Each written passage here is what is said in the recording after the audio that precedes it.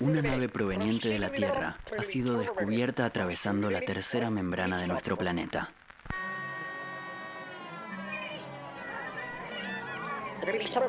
Se ha declarado estado de alerta máxima y la población marciana está siendo evacuada en los refugios blindados hasta que podamos restablecer la seguridad. Desde una base secreta emplazada en el sector Noida 18, hemos enviado agentes morfomoleculares a investigar sus planes, con el objetivo de neutralizar cualquier posible ataque y evitar la invasión de la cueva volante, donde descansa la partícula de Dios. Los agentes morfomoleculares están entrenados para confundirse con el entorno, ya sea como elemento de la naturaleza como un artefacto lumínico, hasta como un niño humano más. De este modo transmiten la información a la torre central, para luego ser procesada por nuestros agentes. En el interior de su nave, los humanos reciben atentos las últimas instrucciones. Una inyección será aplicada a cada uno de ellos para resistir la falta de oxígeno. Ya en la superficie del planeta, los expedicionarios se familiarizan con el ambiente. Satisfechos instalan un campamento sin notar que el terreno es de radiación roja de nivel gamma. Hemos identificado al capitán Spender como uno de sus líderes. Magnánimo y voraz, establece un sistema de medidas precautorias para evitar la superficie del planeta rojo. Las instrucciones son entregadas a cada uno de ellos por su asistente, el Dr. Bob. Guiados por el carismático líder, emprenden una salida expedicionaria. Dos agentes infiltrados levantan sus manos para ser identificados desde la torre central. Sus señas además confirman el destino de la expedición. La cueva volante. Sus trajes son precarios, simples, rústicos, mal ajustados, carentes de cualquier factor aislante.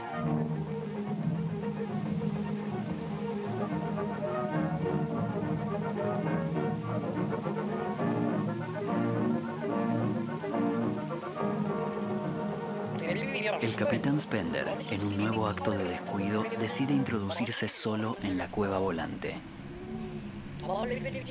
Momentos más tarde sale de la cueva exultante de felicidad.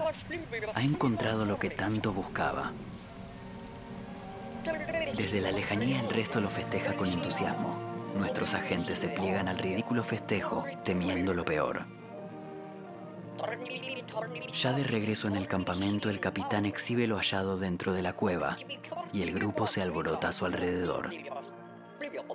Para sorpresa de los agentes, solo ha extraído rocas brillantes ignorando por completo la partícula de Dios que tuvo frente a sus ojos, pero no supo ver.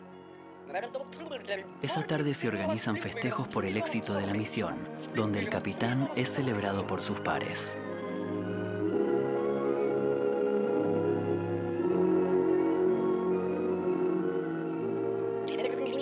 Aprovechando la distracción, los agentes envían comunicados de calma. La partícula sigue intacta.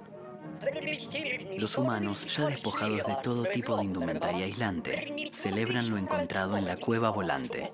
Con una fogata encendida y sin ninguna precaución, pronto serán víctimas de la radioactiva combustión. Alejado del grupo, el capitán Spender talla en una rama el rostro de una mujer.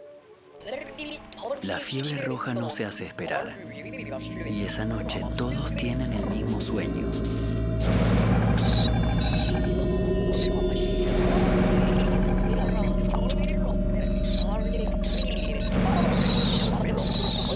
La radiación es letal.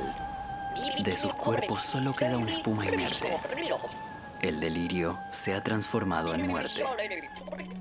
Desesperados y ante la horrorífica imagen, el capitán Spender junto a los dos únicos sobrevivientes dan marcha a la nave y huyen del planeta.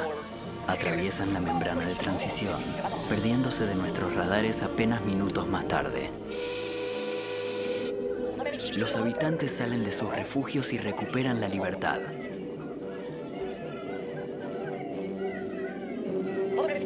Marte está a salvo de toda invasión.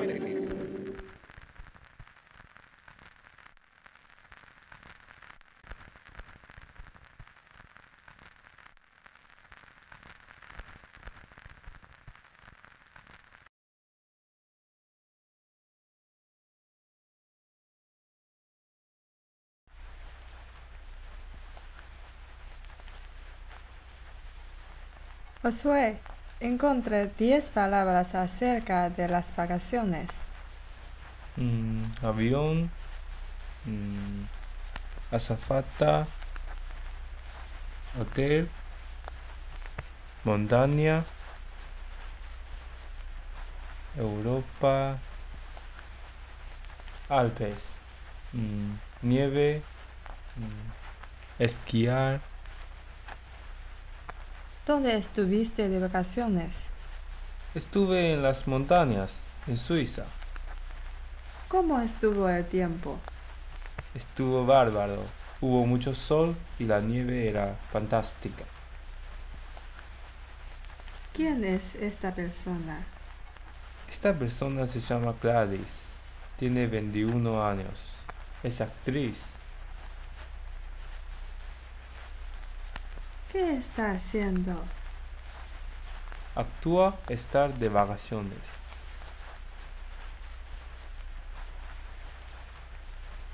¿Qué hace ahora? Actúa aprender esquí.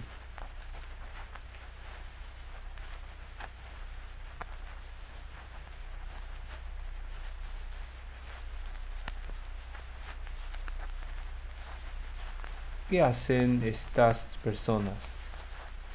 Estas personas tiran bolas de nieve. ¿Están en Suiza? No, están en Bariloche, en el sur de Argentina. Arme tres oraciones sobre la Argentina. Mm, Uno. Bariloche está en el sur de Argentina. Mm, Dos. A los argentinos no les gusta mucho trabajar.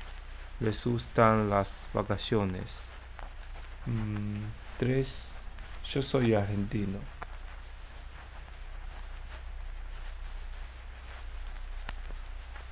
Josué，你是哪里人啊？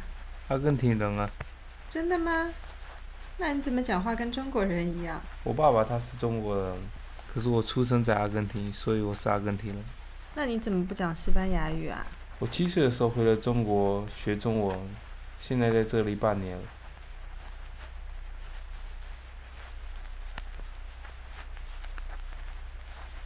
但是你真的去了欧洲度假吗？当然不是，我整个夏天都在我舅舅的店里工作。你喜欢工作吗？嗯，不喜欢。啊，我们继续。Capítulo 4. ¿Quiénes son estas personas y qué están haciendo? Mm, Estas personas son argentinos. Andan en esquí. Mm, Están de vacaciones. Están en las montañas. Mm, Están en Bariloche, en el sur de Argentina. Y ahora, almenegaciones. Mm, Estas personas no son argentinos. Estas personas no están de vacaciones. Mm, No están en Bariloche. Bariloche no está en el sur de Argentina. ¿Dónde están? Mm, No sé.